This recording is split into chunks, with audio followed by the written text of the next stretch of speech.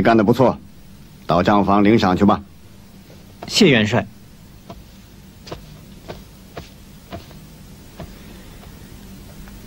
公孙先生，你知道这封信对我有何用处吗？元帅，是不是想模仿孙膑的笔迹，再写一封意在背叛魏国的信，交给大王？哼，不用再写一封，只要在他的信中加上这样两句：小弟今日虽被魏王封为客卿，但是。心怀故国故土，不久将设法归去。倘若齐王不弃，小弟当尽力辅佐。好，还是元帅想的妙啊！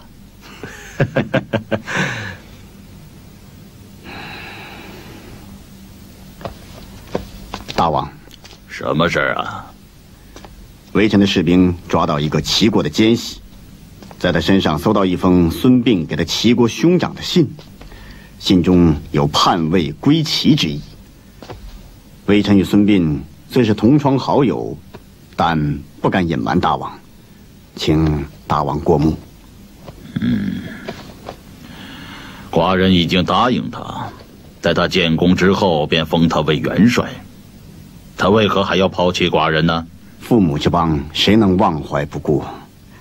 大王即使封他为元帅，他也不会尽力的。当年孙膑的曾祖父孙武子甚得吴王重用，吴王使他名扬天下，可是他最终还是抛弃了吴王，回到齐国。既然如此，那你为何还要把孙膑推荐于寡人呢？孙膑精通《孙子兵法》。大王若不用他，他将被齐国所用。孙膑一旦被齐国重用，必将威胁大王的霸业。孙膑不愿为寡人尽力，寡人如何用他？大王若不能用他，就应该将他处死，否则以后他必将是魏国的劲敌。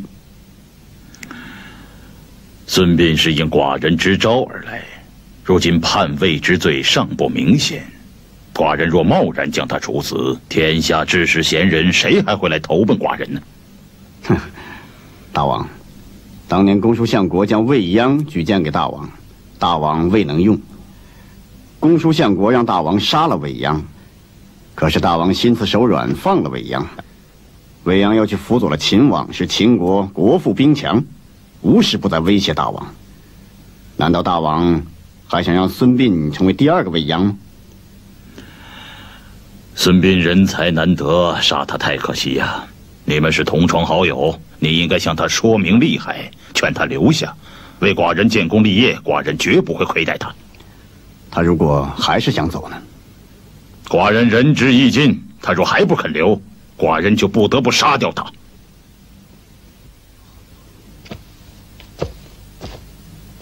孙兄，我已反复向大王解释，可是大王。始终不答应。哎呀，这可怎么办？我的堂兄接到我的信，一定日夜盼着兄弟团聚，可我却无法回去。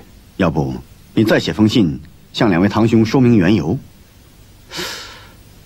不，这样也不行。他们会以为你做了官，把他们给忘了。我去见大王。跟他当面解释清楚。孙膑，寡人待你不薄，你为何要背叛寡人？大王的话，微臣不明白。你要回齐国，那就是背叛寡人。大王误会了，我回齐国真的是为了和亲人团聚。你骗不了寡人，来人。在在拉出去杀大王。大大王为什么？大王大王我没骗你啊大王。大王你要明察大王。大王大王。行刑手下留人。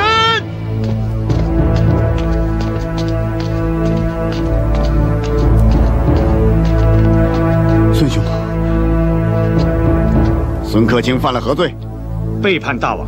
这不可能。孙兄，你如何得罪了大王？贤弟，我可没有得罪大王，是大王误会我了。孙兄冤枉，小弟这就去面见大王，为孙兄辩白。你们等着。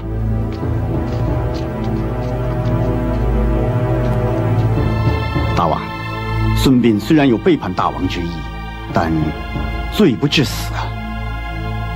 处死孙膑是你为寡人出的主意啊？微臣说是说，大王真要处死孙膑，微臣实在于心不忍。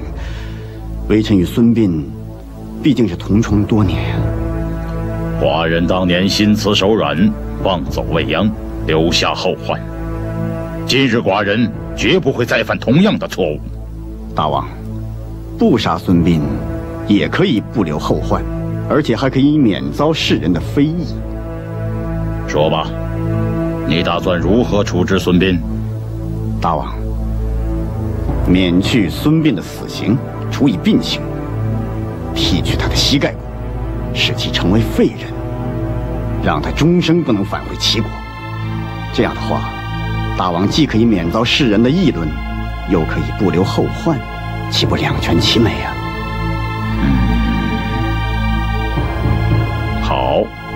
就按你说的意思办。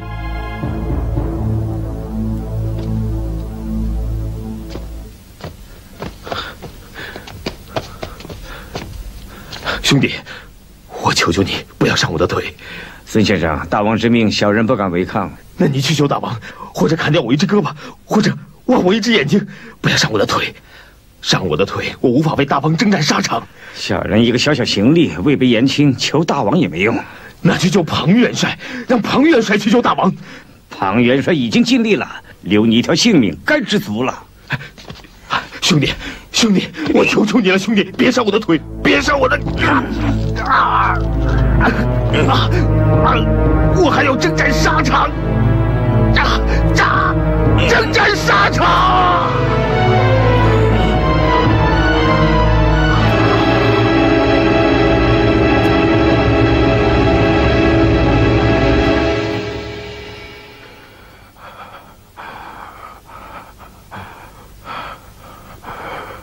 孙兄，我对不起你。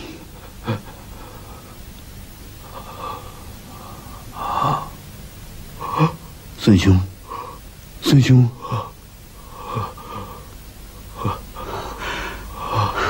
孙兄，你终于醒了。孙兄，是不是疼的厉害呀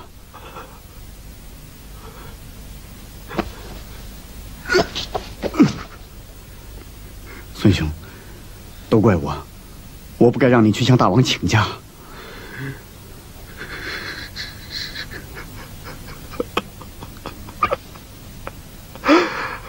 孙兄，孙兄，孙兄，别这样，别这样，孙兄，孙兄，孙兄，孙兄，别这样，你会疼死的，孙兄，孙兄，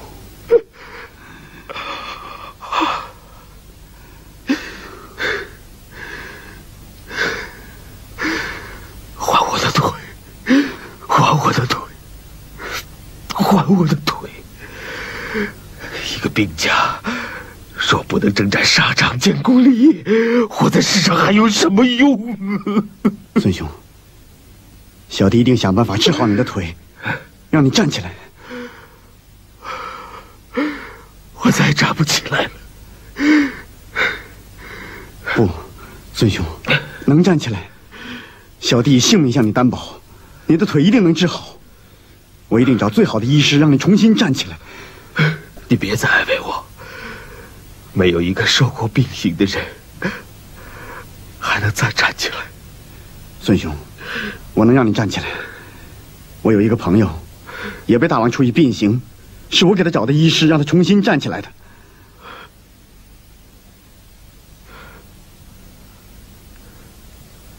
当真？千真万确。小弟若有半句假话，死在乱箭之下。贤弟。你怎么又发此重誓？不发重誓，不足以让你相信。孙兄，我一定想办法治好你的腿，请你相信我。贤弟，我相信你。孙兄，你就安心在小弟的府上好好养伤。钟立秋，啊，在。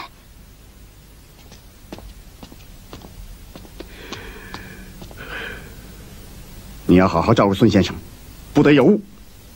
是，元帅。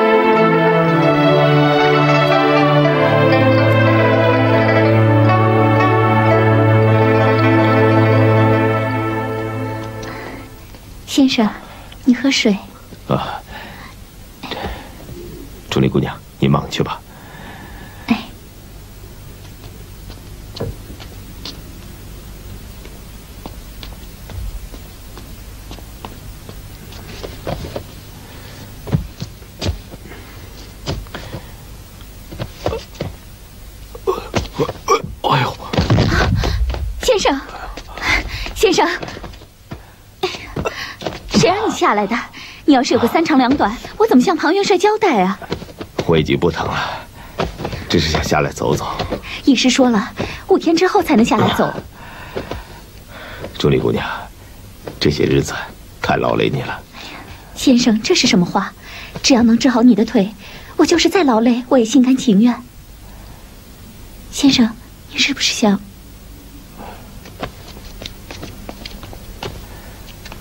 钟离姑娘，还是我自己来吧。这又不是第一次，有什么不好意思的？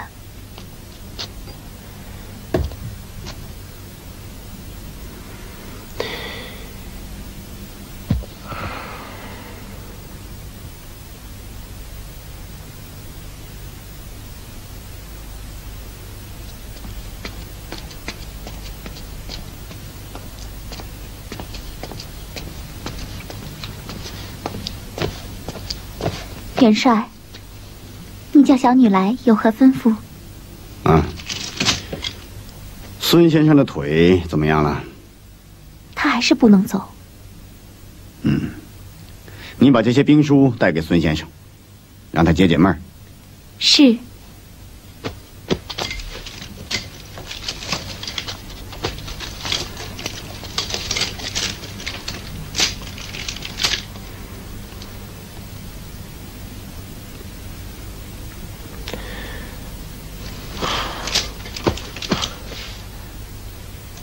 治国者庞涓也。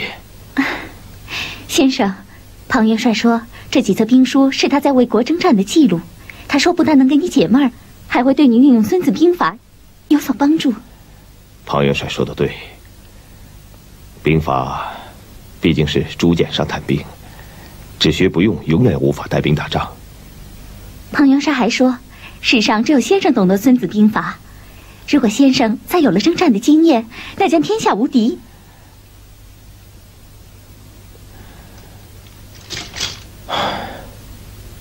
庞元帅真的大丈夫也，可惜我的腿，即使有了征战经验，也不能天下无敌。可惜了《孙子兵法》。先生别灰心，庞元帅说你的腿一定能治好的。你们别再安慰我了，我知道我的腿。真的，庞元帅说，他一定能给你找一个世上最……姑娘，你去把庞元帅叫来，告诉他我有要事找他。去吧。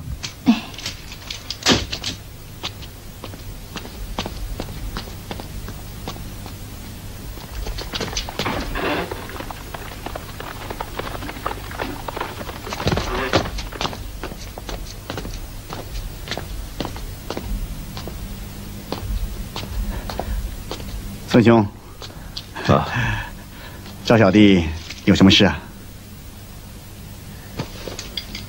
贤弟，为兄对不起你。哎，孙兄，你这话从何说起啊？是不是小弟有什么地方做错了？是为兄错了。你越说，小弟越糊涂了。贤弟，不瞒你说，当初我没打算把《孙子兵法》告诉任何人，当然也包括你。啊。这我知道，孙兄上次说过，这是鬼谷先生的意思。孙兄，小弟对《孙子兵法》无任何奢望。但是今天，我准备把《孙子兵法》传给你。不，孙兄，这是违背师命的，上天会惩罚你的。哎呀，上天怎么会惩罚我呢？《孙子兵法》不属于我，也不属于鬼谷先生。作为一个兵家，是没有任何理由让这部兵法到我这里为止的。鬼谷先生精明过人，又会占卦，你瞒不过他。哎，我干嘛要瞒他呢？我把事情告诉他，他会谅解我的。贤弟，你快去叫人拿笔墨竹简来，从今天开始，我就为你写《孙子兵法》。不不，孙兄，不行，这万万不行！哎呀，你怕什么？即使鬼谷先生怪罪的话，他怪罪的是我，也不是你。正因为如此，我才更不愿意接受。孙兄，小弟为人一向把情义放在第一位。如果为了一部兵法让孙兄受委屈，小弟宁可终身遗憾，也不要这部兵法。孙兄，你听小弟一句话，按照先生的嘱咐去做吧。贤弟，我问你，不是一个出色的兵家，他能运用好《孙子兵法》吗？不能。那当今世上还有哪一位兵家能胜过你我二人？啊好像没有。我问过给我看病的医师，他告诉我，即使我的腿将来能走路，也不能再驰骋疆场了。孙兄，小弟再给你找更好的医师。他说他就是最好的医师。我让卓丽姑娘问过别人，别人也都这么说。你别听他们的，他们说的不是实话。那你说实话，他是最好医师吗？不是，你敢起誓？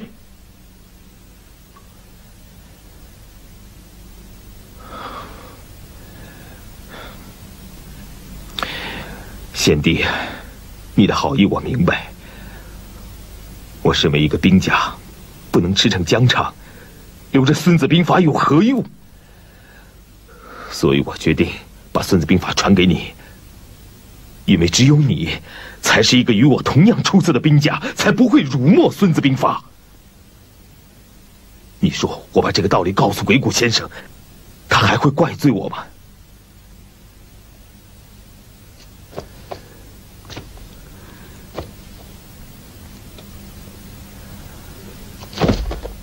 孙兄，贤弟，小弟绝不辜负你的期望，定让《孙子兵法》威震天下。嗯，笑里藏刀为三十六计中的第十计，其意是表面友好，暗藏杀机。庞涓为得到《孙子兵法》，笑里藏刀陷害孙膑。要知孙膑如何摆脱危险请看下集假痴不癫。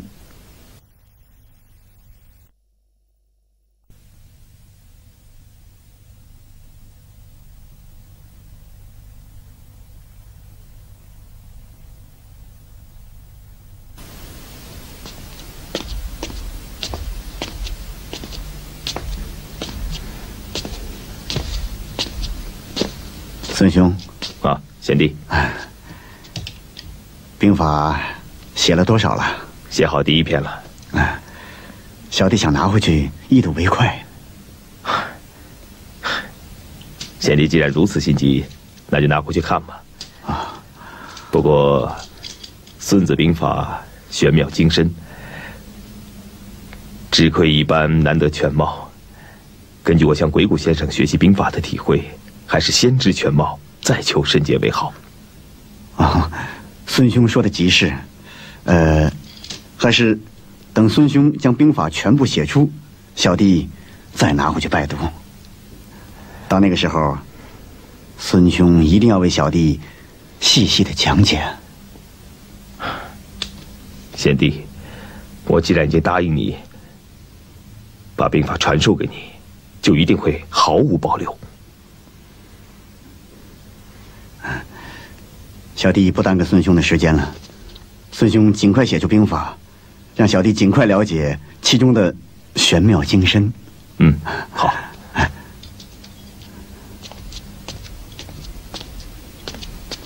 姐姐，孙先生已经能下地走路了，医师说再过十几天他就能像常人一样行走自如了。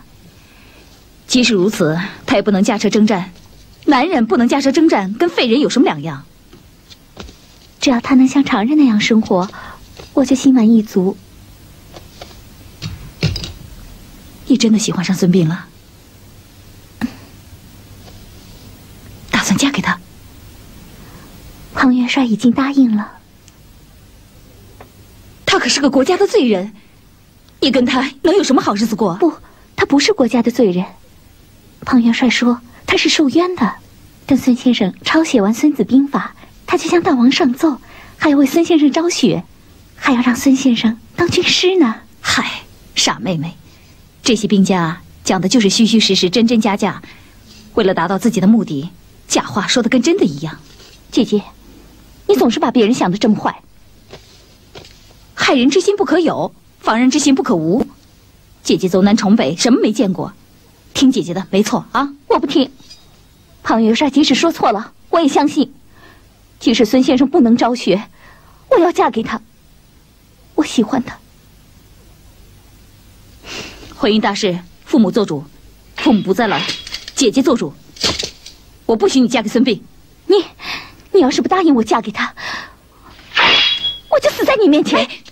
你把剑放下。你答应我，你答应我再放下。秋，姐姐都是为你好。你现在不听姐姐的，将来要后悔的。后悔就后悔，我认了。你现在必须答应我，就答应我。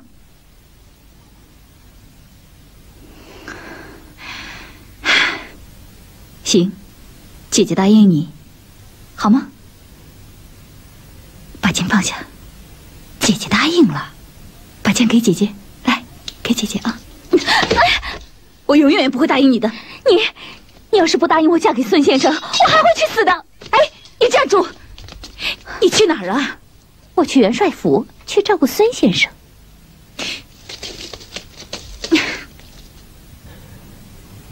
元帅，孙膑十几天才写完了兵法的第一篇，这十三篇要写到什么时候啊？哼，我都没有急，你急什么？哈，我是怕时间长了，他看破了元帅的用意，有意的拖延时间呢。不会。他之所以写的慢了一些，是怕抄写有误，每一句话都要反复的斟酌。元帅，我觉着还是催一催为好。孔夫子说过：“欲速则不达。”我要的是一字不差的《孙子兵法》。再说，如果催得急了，孙膑反而会起疑心。公孙越，嗯。你担心的不是兵法，而是钟离秋，对吗？啊不，我完全都是为了元帅着想的。哼，你瞒不了我的眼睛。你是怕时间久了，钟离秋真的成了孙膑的人？呃，啊不完全是。我本来不想让钟离秋和孙膑假戏成真，可是后来想起来，孙膑也够倒霉的了。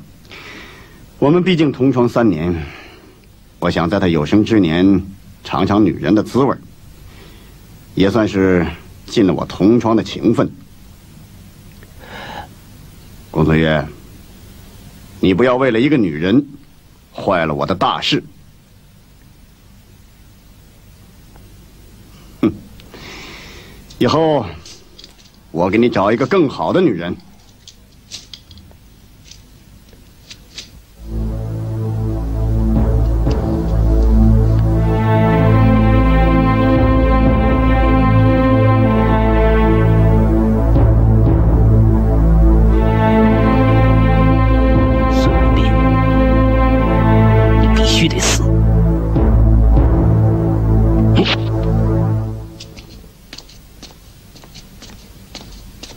先生，什么事？外面有人找你，他带了很多礼物。什么人？他不说，只说有要事相告。叫他进来吧。是。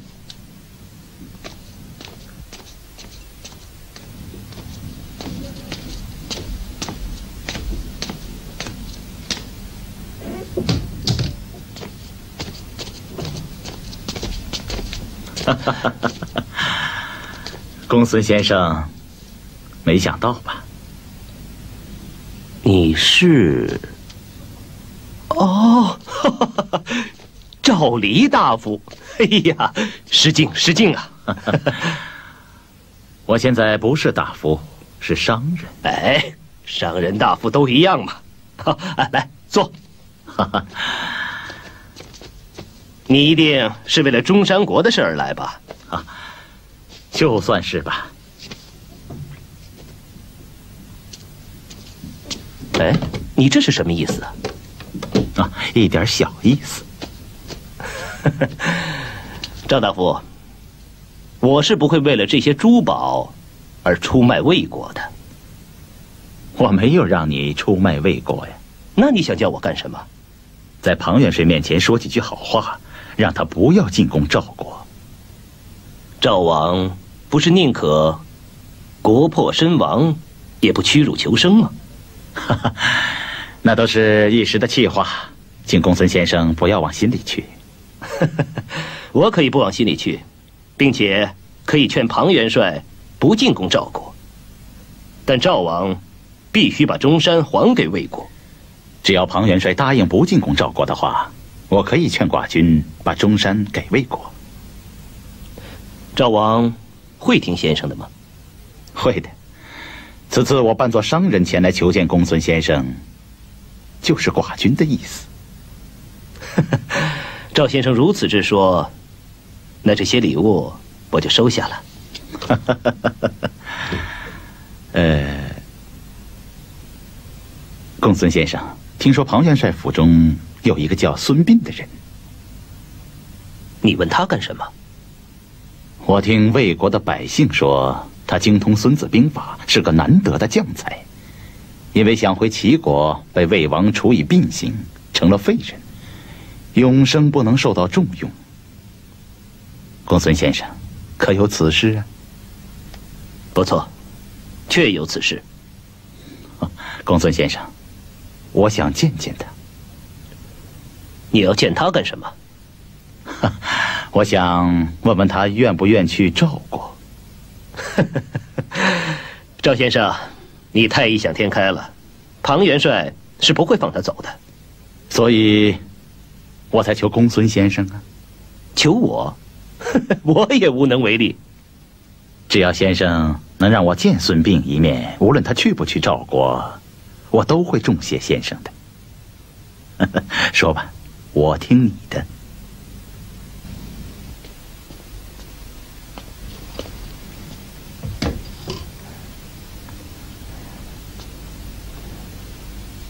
孙子曰：“凡用兵之法，全国为上，破国次之；全军为上，破军次之；全旅为上，破旅次之；全族为上，破族次之；全武为上，破武次之。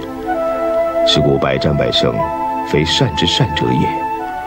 不战而屈人之兵，善之善者也。先生，全国为上，破国次之，这是什么意思啊？你也想当兵家？我只是随便问问。强国，就是使敌人举国屈服，这是上策；破国，就是击破敌国，这就次一等了。哦，我明白了，就是让敌人屈服，比打败敌人更了不起，对吗？钟离姑娘，你要是个男人，我就教你兵法，让你成为驰骋疆场的将军。我才不想当将军呢。哎，可我姐姐想当。先生，你教她兵法吧，她一定非常高兴。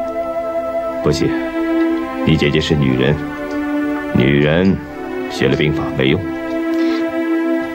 女人为什么不行？我姐姐说了，女人也会杀人，也能带兵打仗。这是你姐姐说的？当然，别人是说不出这样的话的。哎，我记得你说过，你姐姐去过鬼谷。对呀，她是去学兵法，可鬼谷先生没有收她。当时她是不是女扮男装？嗯，可能吧。她最爱女扮男装。我想谢谢你姐姐。嗯，可她不愿意见你。为什么？我我了解我姐姐。她不愿见瞧不起女人的男人。我没瞧不起女人，我只是说女人不适合学习兵法。这就是瞧不起。我姐姐最讨厌男人说女人不能学习兵法。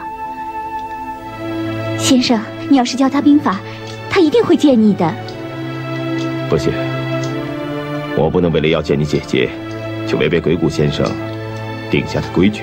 你去见见他吧，这样对你。对我都非常必要。有什么必要？我我想一辈子照顾你，可我姐姐她不会同意的。你只要答应教她兵法，她一定会同意的。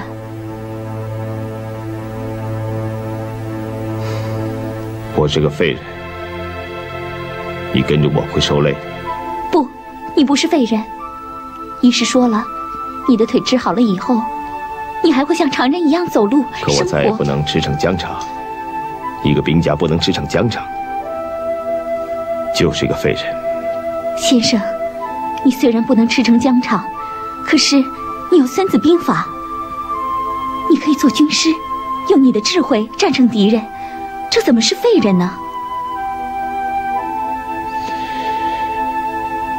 啊先生，我说的不对吗？不，很对，谢谢你。这话都是我姐姐说的，她还说，以先生之才，定能扬名天下。嗯，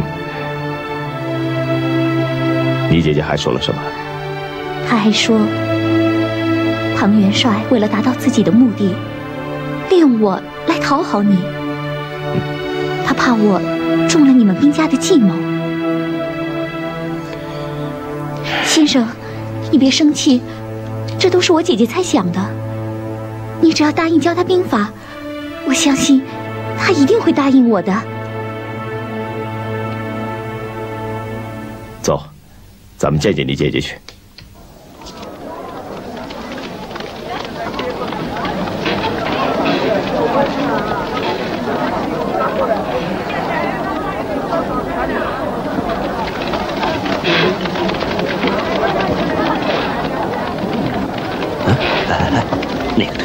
生病，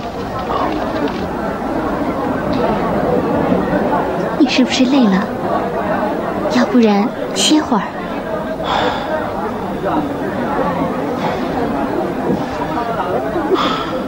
我实在是走不动了，要不不去了吧？不是说好了吗？哎，要不在酒馆坐一会儿，我去把我姐姐叫来。好吧。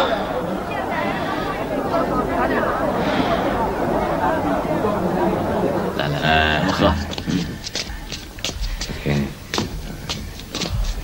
来，哦呦，先生来了，请，小心，慢点啊。哎，来，嗯嗯，坐这儿。现在现在，哎，慢点啊，慢点。来，哎哎，好好好。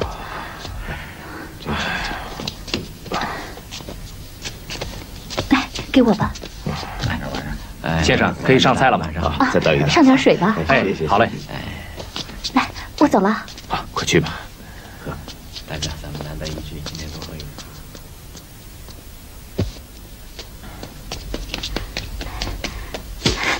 姐，孙先生要见你。姐，什么？孙先生要见你。见我？啊，不见。姐，他教你兵法。教我兵法？啊，他是另有所图吧？姐，你就爱瞎想。孙先生他能图我们什么呀？图你呀、他是想让我把你嫁给他。姐，你别气我了，孙先生还在外面等着你呢。你告诉孙膑，不要说教我兵法，就是让我当将军，我也不会把唯一的妹妹嫁给他。你，你别逼我，你要是再逼我，我，哎，我就死给你看！哎呀，干什么呀你？行行行，我去我去，我跟你去还不行吗？走，走啊！大哥，行。多日不见大哥了吧？是啊。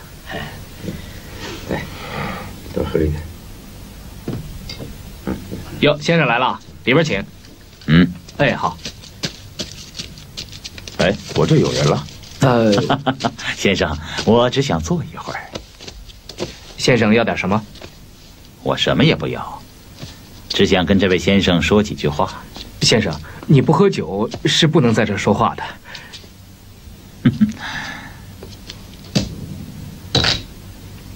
这样可以说话了吧？呃，可以可以，谢谢谢谢。先生，我没认错的话，你就是孙膑。先生，你怎么会认识我？你刚来魏国时，庞元帅高阶远迎，大王拜你为客卿，整个魏国无人不知，无人不晓。小人崇拜先生之极，未见先生的尊容，曾多次在你的府外等待。后来，听说先生愿遭病行，小人一直想去看望先生，无奈元帅府高墙深院，小人无法进入。感谢先生，还记得孙膑这个废人。先生，恕小人直言，你之所以成为废人，是因为有人陷害你。何人？庞涓。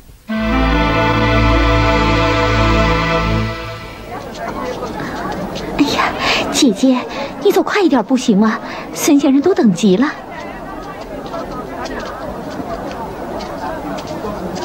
姐姐到了，哟，二位小姐来了，里边请。刚才坐在这里的那位先生呢？不知道，跟一个商人出去了。出去了，他去哪儿了？呃，出了门往右走了。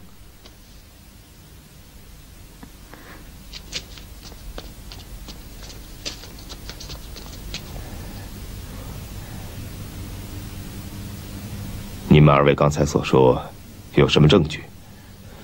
当然有。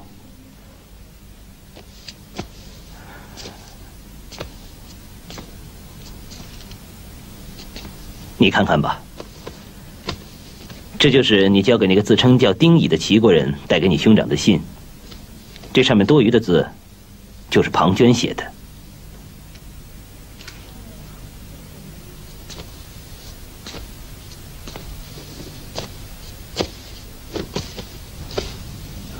孙先生，如果你想见到那个自称丁乙的人，我可以把他找来。不必了。不过我想知道公孙先生为什么要把庞涓的阴谋告诉我？因为我看不惯他这种卑鄙的作为。还有呢？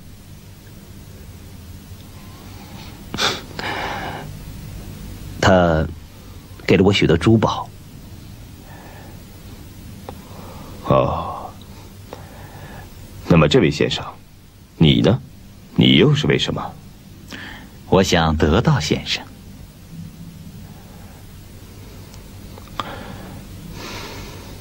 公孙先生，我想跟这位先生单独说几句，可以吗？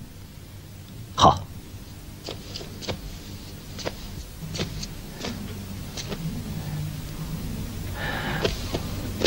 多谢先生，请问先生尊姓大名？你知道我的姓名没有用，我只能告诉你我是赵国人。刚才先生说要想得到我，是不是想带我去赵国？我那是说给他听的。那为什么先生要让我知道事实真相呢？魏国的军队时刻威胁着赵国，我不想看到魏国的元帅得到《孙子兵法》。如果先生把我带到赵国，我会帮助赵国抵御魏国的。不行，我的国家现在还不能因为你一个人。得罪强大的魏国，看来我真的要死在魏国了。先生，事在人为，不想死就不会死。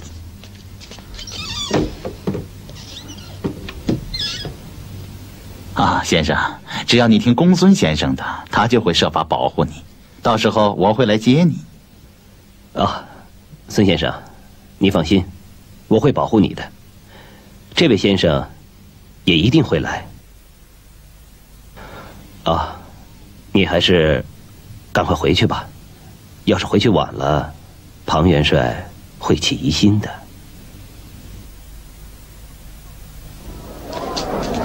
大爷，看到一个腿不好的从这儿走过吗？哦，没有没有。因那位孙先生。根本就没把你放在眼里。不是的，孙先生肯定遇到了非常重要的事，否则就是等到天黑也不会走的。驾驾驾！姐，你看是孙先生，孙先生，小心孙先生，孙先生，喊什么？他根本就没有把你放在心上，你喊什么？不是的，他好像遇到了什么事儿。姐姐，你先回家，我去元帅府。哎，你。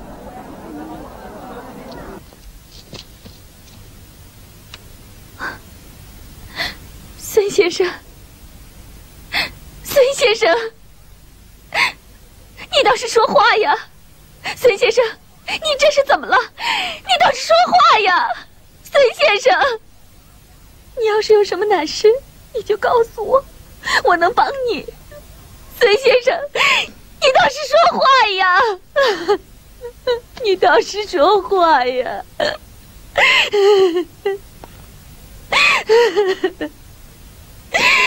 孙先生，你有什么难事，你可以告诉我。你倒是说话呀！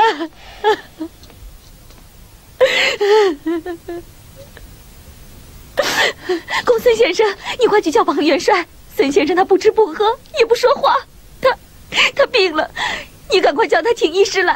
哈，钟离姑娘，孙先生得的是心病，用不着请医师。那他到底遇见了什么事？我怎么知道？你不是一直和他在一起吗？你怎么会不知道呢？我在路上遇见他的时候，他已经这样子了，躺在那儿。我问他什么，他什么都不说。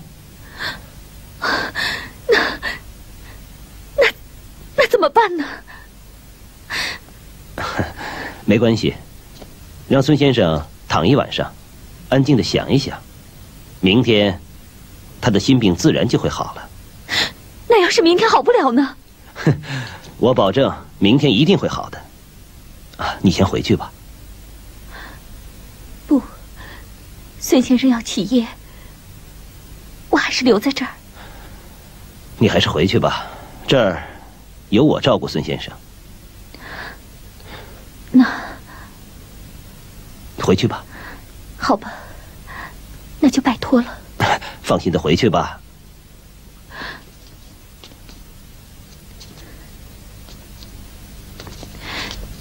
走吧。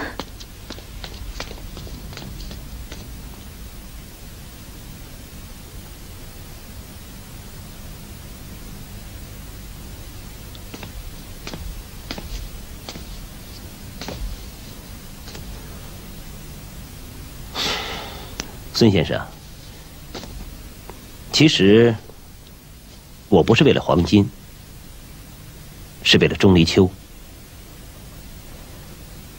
如果你答应放弃他，我不但可以保你活命，还可以答应那个赵国人接你去赵国。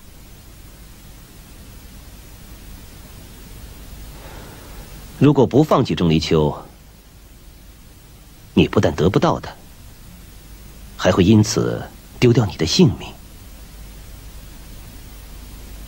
你自己好好想想吧。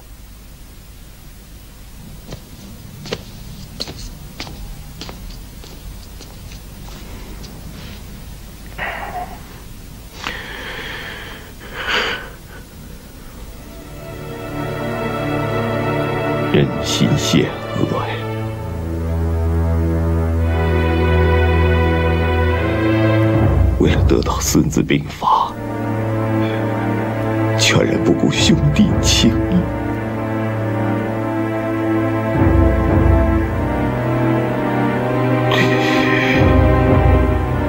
竟下如此毒手！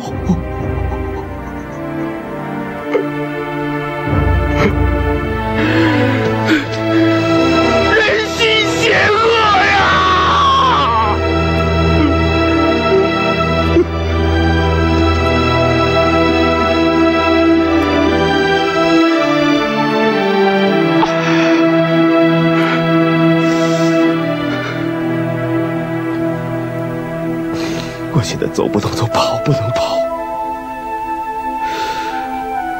难道真死在这儿不成？你下山后，如果遇到大难，你就打开这只锦囊，里面自有妙计。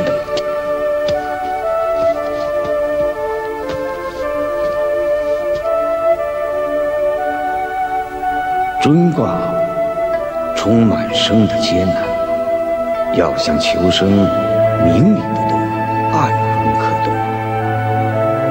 蒙卦是愚昧幼稚，明里装作愚昧幼稚，暗中便可逃脱中卦预示的艰难。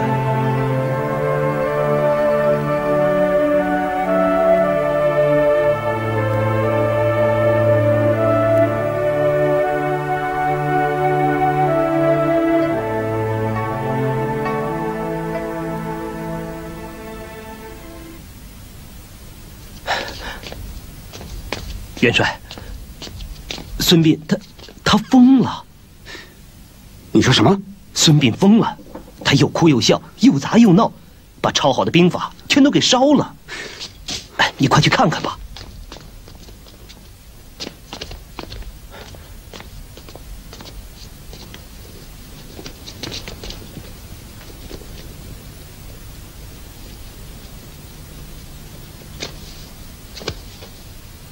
孙兄，你怎么了？孙兄，你怎么了？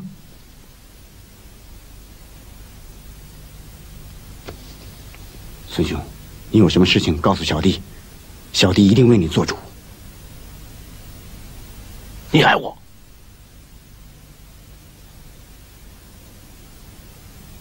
我有天兵天将保护，你奈何不了我。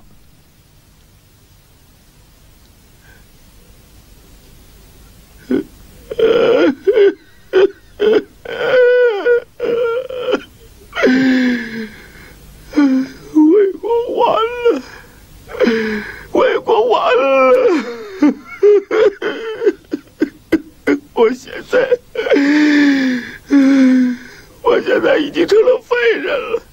魏国再也没有人领兵打仗了。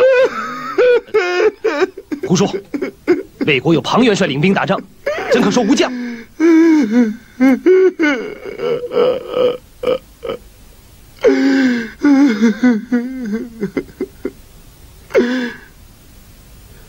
鬼谷先生，他们要害我。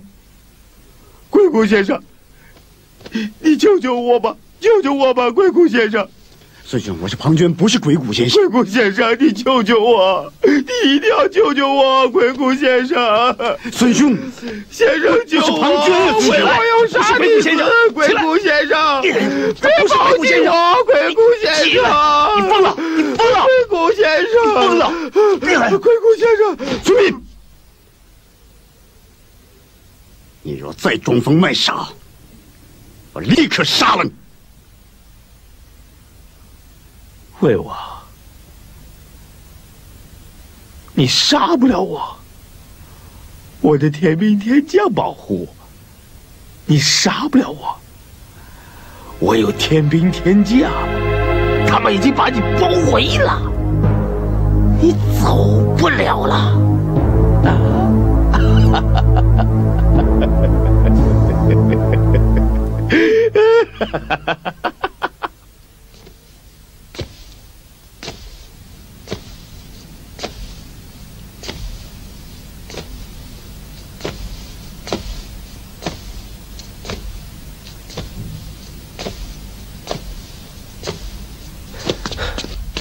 元帅，怎么样？还是昨天那样？我看他是真的疯了。他怎么会平白无故的疯了呢？这里面一定有诈。可元帅对他恩重如山，他不应该欺诈元帅。他会不会知道我的用意了？不会吧？除了元帅跟我之外，元帅的用意是没有人知道的。那他怎么会疯了呢？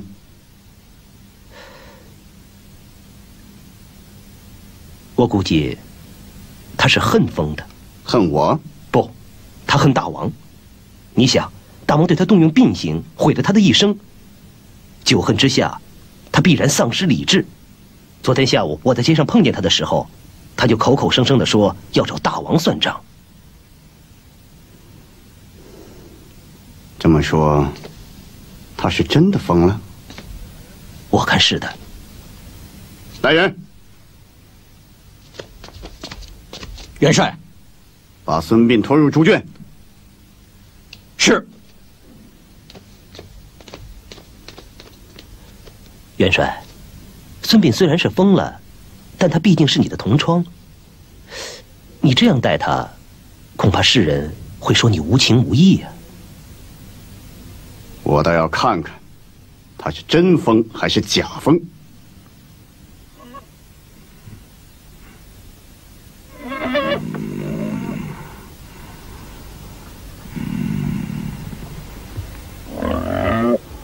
你谁？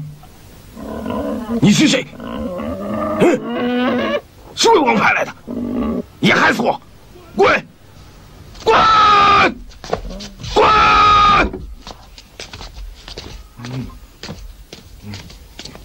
孙先生，孙先生，来，请用饭。你也是魏王派来的，你害死我！饭里有毒。我没放毒，我是看先生太可怜了，所以瞒着庞元帅给先生送饭来了。来，吃。来，孙先生吃。啊，吃。呀，有毒啊！有毒啊！你要害死我！你要害死我！啊！天兵天将，快给我打呀！害死我呀！他呀！害死我呀！害死我呀！天兵天将！元帅，孙膑真的疯了。我给他端去饭菜，他说有毒。我一气之下给他端去了泥块和粪便，他端起来就吃，抢都抢不下来。好，知道了，你下去吧。是。难道孙膑真的疯了？元帅，孙膑如此疯癫，装是装不出来的。我问你，孙先生到底犯了什么法？你把他关进猪圈里，如此虐待他。钟离姑娘，庞元帅并没有虐待孙膑，是他自己疯了，非要住到猪圈不可。你胡说！昨天晚上孙先生还好好的，怎么会疯呢？昨天晚上他就这样了，不吃不喝也不说话，这你都看到了。他就是疯了，你们，你们也不能把他扔到猪圈里不管啊。钟离姑娘，我和孙膑情同手足，我不会不管他。我把孙膑交给你，只要你好好待他，他的病一定会好的。元帅，请你放心，我会做到的。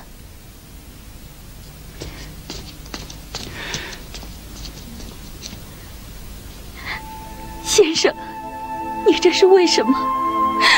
为什么？难道你这是真的疯了吗？啊，先生，我是秋，我是钟离秋啊，先生，先生，我是秋啊，先生，你说话呀，说话呀！你吸血鬼，你一定要吸我的血！你骗不了我！你想害死我！你是为我派来的奸细！不，不，我不是奸细，我是真心的对你好啊！离我远点！奸细，你不认我，我活在世上还有什么用？我有天兵天将保护。孙先生，你回答我，你到底想不想要我？你回答我！你真是，你骗不了我，你骗不了我。我不骗你，我是真心的。如果你不答应我，我就死在你的面前。你是魏王派来的奸细，我要天兵天将保护，你害不了我。你滚，滚出去！你真是。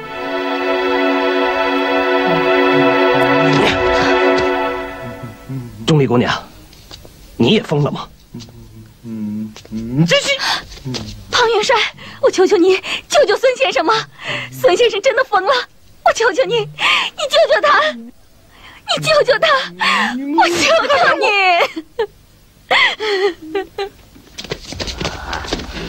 你看我这好棒，害我呀！怎么样，买了吧？